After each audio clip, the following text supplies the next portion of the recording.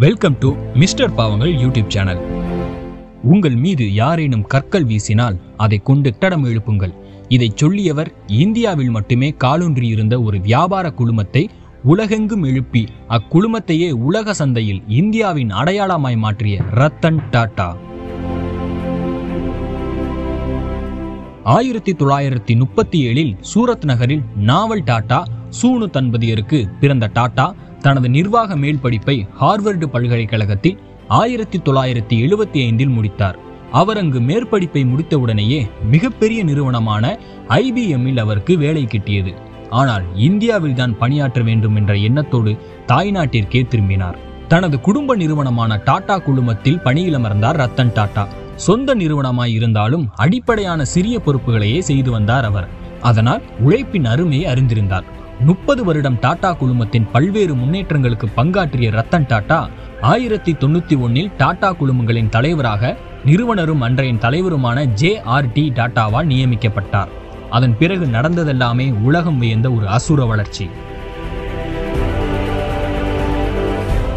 அதுவரை இந்தியாவின் மிகப்பெரிய நிறுவனங்களுள் ஒன்றாக இருந்த டாடா குழுமத்தை உலகின் பார்வைக்கு எடுத்துச் சென்றார் சிறிய முன்னேற்றங்கள் பற்றி யோசிப்பது எனக்கு பிடிக்காது என்பார் டாடா.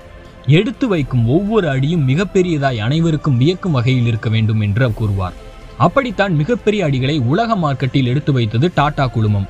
உலகின் ஒவ்வொரு நாட்டிலும் ஒவ்வொரு சந்தையில் தனக்கான வாய்ப்புகளை கண்டறிந்தார். இரும்பு மென்பொருள் கெமிக்கல் தேநீர் கார்கள் என அனைத்து துறையிலும் அசுர வளர்ச்சி கண்டது இந்நிறுவனம். இவர் பொறுப்பேற்ற பின் டாடா குழுமம் கால் வைக்காத துறை இல்லை என்றே சொல்லலாம். ஆண்டுக்கு ஒரு பில்லியன் அமெரிக்க டாலர் வருவாய் ஈட்டிய முதல் இந்திய மென்பொருள் நிறுவனம் என்ற சாதனையை படைத்தது டாடா குழுமம்.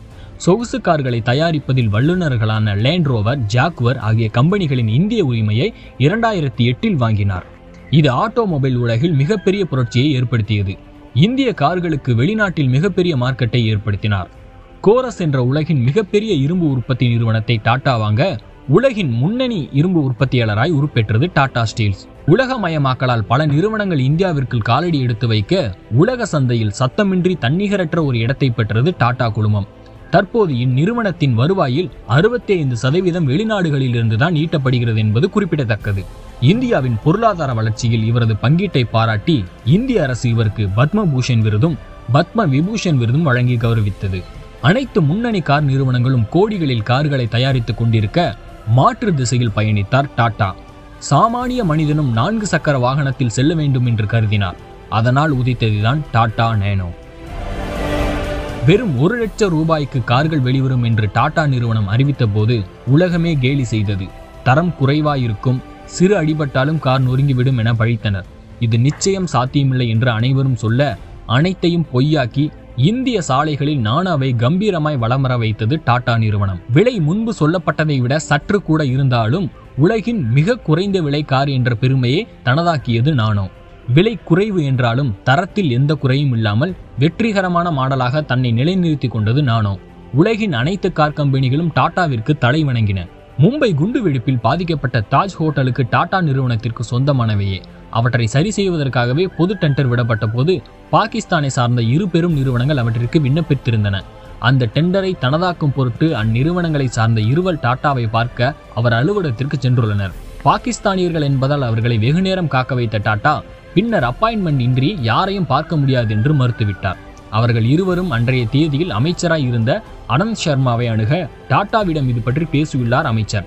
அதற்கு டாட்டா அளித்த பதில் உங்களுக்கு வேண்டுமானால் இது கூசாமல் இருக்கலாம். ஆனால் எனக்கு அது அவமானம் என்று கூற அதிர்ந்து போனாராம் அமைச்சர்.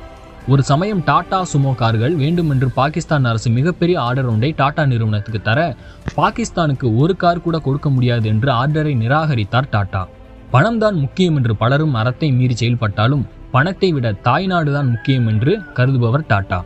இளைஞர்கள் பலருக்கும் தொழில்நுட்பங்களை பயிற்று வருகிறார். சைரஸ் மிஸ்ட்ரியை டாடா குழுமத்தின் தலைவராக நியமித்துவிட்டு அப்பொறுப்பில் இருந்து ஓய்வு பெற்றார் ரத்தன் டாடா. மிகவும் சாந்தமான மனிதர். ஆதரவற்ற குழந்தைகளுக்கும் மாற்றுத்திறனாளிகளுக்கும் தனது தொண்டு நிறுவனங்கள் மூலமாக பல உதவிகளை செய்து வருகிறார். முன்னேற்றம் என்பதை மட்டுமே மூச்சாய் கொண்டு இன்று வரை அம்முன்னேற்றத்தை பார்த்து கொண்டிருக்கிறார் டாடா. உலக சந்தையில் இந்தியாவிற்கு ஒரு அந்தஸ்தை ஏற்படுத்தி கொடுத்திருந்தாலும் இந்திய பொருளாதாரத்தின் வளர்ச்சிக்கும் டாடா குழுமத்தின் பங்கும் ரத்தன் டாட்டாவின் பங்கும் அளப்பரியது. என்னால் இறக்கை விரித்து பறக்க முடியாத நாளே என் வாழ்க்கையின் சோகமான நாள் என்பார் ரத்தன் டாட்டா அவரது சிறகுகள் இன்னும் பல்லாண்டு காலம் பல இடங்களில் விருந்து பறக்கட்டும். இந்த வீடியோ பிடிச்சிருந்தா லைக் பண்ணுங்க ஷேர் பண்ணுங்க.